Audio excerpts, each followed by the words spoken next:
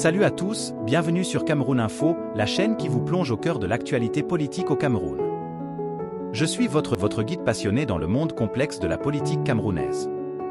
Ici, sur Cameroun Info, nous vous apportons des reportages exclusifs, des interviews percutantes et des analyses qui vont au-delà des titres. Nous mettons en lumière les dynamiques politiques qui influencent notre quotidien et nous sommes là pour vous fournir une perspective éclairée. Mais pour nous, Cameroun Info, c'est plus qu'une simple chaîne d'actualité. C'est une communauté qui partage une passion commune pour la compréhension et la discussion constructive. Si vous n'avez pas encore rejoint la nôtre, appuyez sur le s'abonner juste en dessous de la vidéo. En faisant cela, vous ne manquerez aucune de nos mises à jour et vous ferez partie intégrante de nos discussions animées. N'oubliez pas également de cliquer sur la cloche de notification pour être le premier informé dès qu'une nouvelle vidéo passionnante atterrit sur notre chaîne.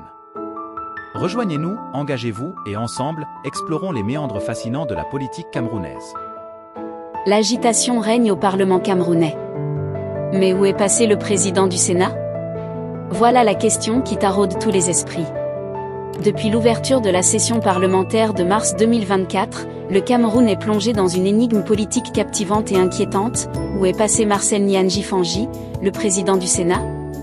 À 89 ans, cet homme politique de longue date, qui préside la Chambre haute du Parlement camerounais depuis 2013, a subitement disparu de la scène publique, laissant derrière lui un vide troublant et une multitude de questions sans réponse.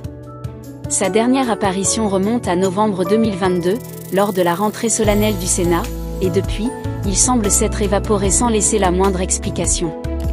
Cette absence prolongée est d'autant plus préoccupante que Marcel Nian Jifanji occupait une place de choix dans la vie politique du pays, son rôle étant crucial en tant que deuxième personnalité de l'État, juste derrière le président de l'Assemblée nationale.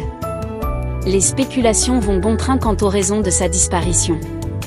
Des rumeurs inquiétantes sur son état de santé circulent, certains évoquant un déclin alarmant, voire même son décès.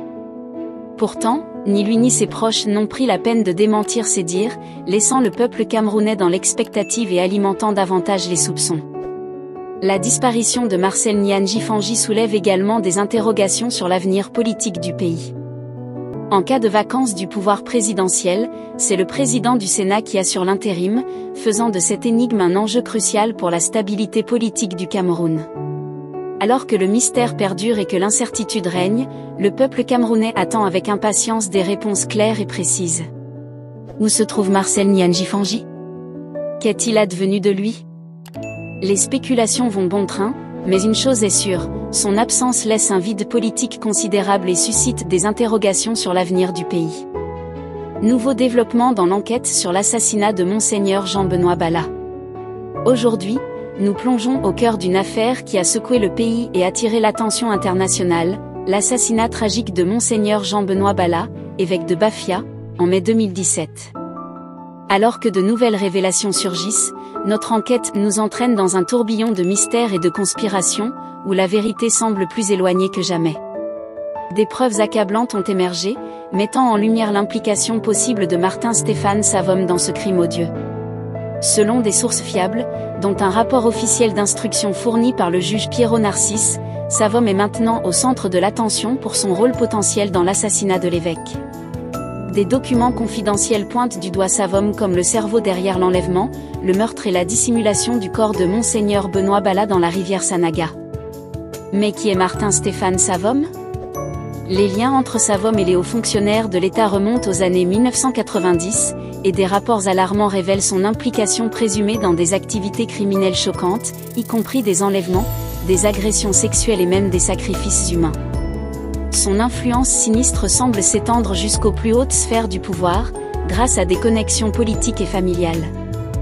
Dans cette atmosphère de mystère et de suspicion, il est impératif que la lumière soit faite sur cette affaire les autorités doivent agir rapidement pour enquêter sur les allégations contre Savom et ses associés, non seulement pour obtenir justice pour Monseigneur Benoît Bala, mais aussi pour prévenir de futurs abus de pouvoir et actes criminels. Restez avec nous alors que nous explorons les méandres de cette affaire troublante, démêlant le vrai du faux et exigeant la transparence de nos dirigeants.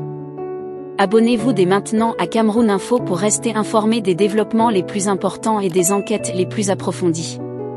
Rejoignez-nous alors que nous plongeons au cœur de cette énigme politico-judiciaire, explorant les différentes théories et tentant de démêler le vrai du faux dans cette affaire qui captive l'attention nationale et internationale.